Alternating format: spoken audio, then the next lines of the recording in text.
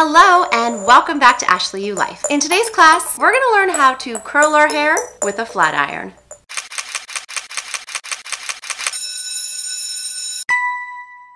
I have people asking me all the time how I curl my hair like this. It's a longer curl, it's not such like a curly curl. I do it with a flat iron. It doesn't matter if you have short hair, it doesn't matter if you have long hair. Curling your hair with a flat iron works for any hair type or length. I actually like it better than a curling iron.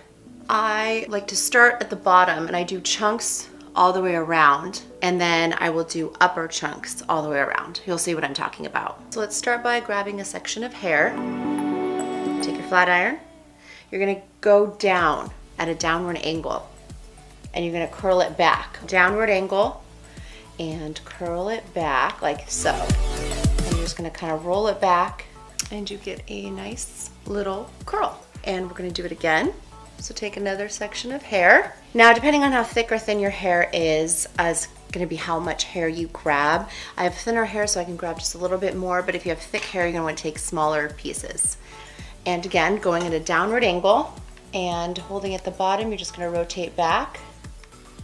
And as you rotate down, you slowly turn, moving backwards towards your head as you pull it down your hair very slowly. And then you're left with a nice little curl. So it's a longer curl than a curling iron gives you, which is why I like curls with a flat iron. And you're just gonna do that around your whole head. Nice little curl. Then I go to my opposite side.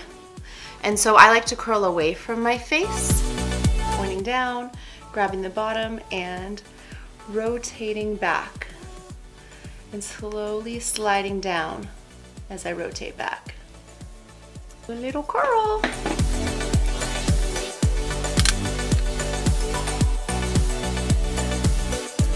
Now, you can stop here and have your hair curled here and do some teasing, or you can continue on like I do, and I like to do a little bit of curl on the top half and not just the bottom half. I just take little sections, smaller sections than you just picked up, and you're gonna do the exact same thing flat iron spacing down, curling back towards my head as I'm slowly moving down my hair.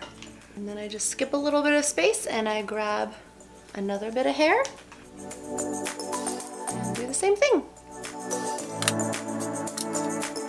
Now, once you've curled all the way around your head and you've checked that you've curled all the way around your head,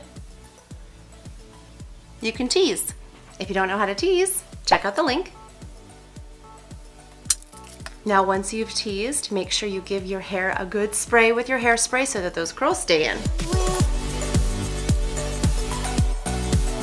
And that is how you curl your hair with a flat iron. Make sure to like and share so other people can like and share. And don't forget to subscribe. I'll see you next class.